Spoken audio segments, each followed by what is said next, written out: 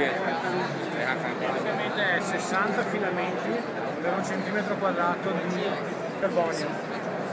Mentre